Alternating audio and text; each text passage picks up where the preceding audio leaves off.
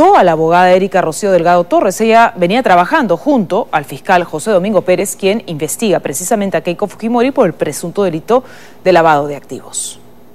Sin alguna razón aparente, el fiscal de la Nación, Pedro Chavarri, decidió apartar a la fiscal adjunta de José Domingo Pérez, Erika Rocío Delgado Torres, del equipo que tiene a su cargo las investigaciones relacionadas con los delitos de corrupción de funcionarios vinculados a la empresa Odebrecht.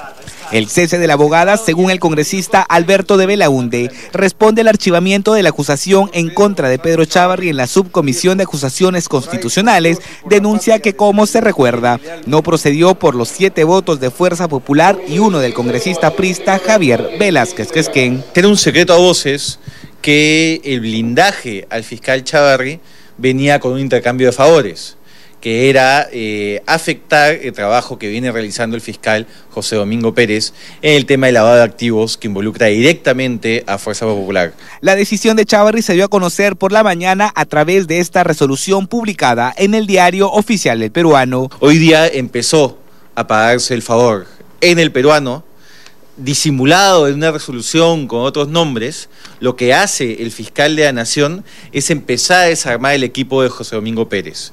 Se está retirando a una fiscal adjunta, que es una pieza clave del equipo del fiscal. Ante la acusación de Alberto de Belaunde desde Fuerza Popular, negaron algún tipo de pacto con el fiscal de la Nación. Nosotros no tenemos nada que ver con la fiscalía, yo me entero por usted. Nosotros no tenemos ninguna vinculación y también podríamos decir lo contrario, ¿no? ¿Y por qué la Fiscalía ha dado prisión preventiva a, Keiko Fujimori, ¿no? Por su parte, el oficialista Juan Cheput respaldó a su ex colega de bancada. Dijo además que Chavarri no debe seguir al mando del Ministerio Público. No hay justificación, más allá de la política y de la conveniencia, eh, para el blindaje de Fuerza Popular y del APRA al señor Chavarri que obviamente se manifiesta en ese tipo de actos. Ya empezó a sacar a los fiscales incómodos para el Fujimorismo y al aprismo. Y eso demuestra que el Ministerio Público lamentablemente está politizado y ese señor no merece seguir al frente de su cargo. El congresista de Acción Popular, Johnny Lescano, fue incluso más allá y dijo que de comprobarse un intercambio de favores entre Fuerza Popular y el Ministerio Público, este último debería declararse en emergencia. Si comienza a utilizarse el Ministerio Público para blindar a gente y tratar de retirar a fiscales que están luchando contra la corrupción, hay que declarar en emergencia el Ministerio Público.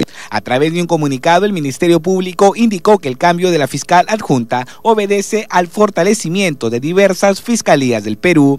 Se pudo conocer que el cese de Delgado Torres no fue consultado al fiscal cabeza del equipo de investigación, José Domingo Pérez.